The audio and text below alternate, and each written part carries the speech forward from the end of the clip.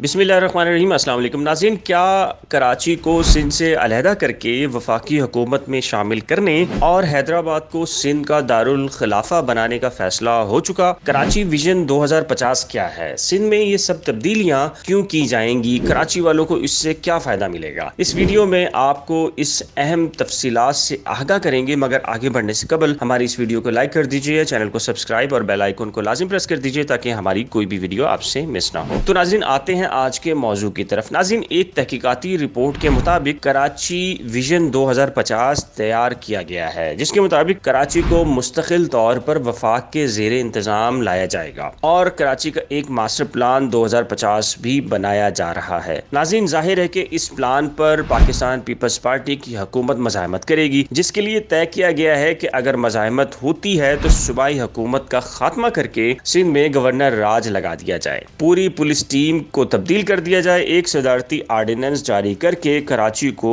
वफाकी इलाका डिक्लेयर करके चीफ एडमिनिस्ट्रेटर तैनात कर दिया जाए। अगर सूरत हाल कशीदा होती है तो अमन अमान बरकरार रखने के लिए छह महीनों तक दफ़ा एक सौ चवालीस भी नाफिज की जा सकती है, जिसके लिए ज़रूरत पड़ने पर मजीद रेंजेस की नफरी या फौज को भी तलब किया जा सकता है। लाजिम कराची को वफाक के जेर इंतज़ाम करने पर अगर मजामत की गई तो उसके लिए कौम परस्त तंजीमों के कारकुनान की फहरिस्तें भी तैयार कर ली गई हैं। नाजिन अगर कराची वफाक के जेर इंतज़ाम चला गया तो हर साल वफाकी पूल से कराची बल्दियाती हुकूमत को पचास अरब रुपया दिया जाएगा, जिससे तालीम, सेहत, police, land and utilization, custom, tax and revenue, Sahli, coastal areas, मादनियात के डी फिशरीज इंडस्ट्रियल एरिया वफाक के कंट्रोल में रहेंगे। इसके अलावा पानी, sewerage, traffic, transport park and ground market, बाज़ार पार्किंग, सियाह, सब्ज़ी मंडी, बरसाती नाले, solid waste management board Sindh building control authority, बल्दियाती इदारे, मेयर कराची के अख्तियार और कंट्रोल में दे दिए जाएँगे। नाजिन कराची के वफाक के कंट्रोल में आने के बाद वफाकी हुकूमत को चार सौ बहत्तर अरब रुपए इजाफी आमदनी होगी, जिससे मुल्की मीशत मुस्तकम होगी। साथ ही शहरी और दही कोटा सिस्टम भी ख़त्म कर दिया जाएगा और कराची के हज़ारों नौजवानों को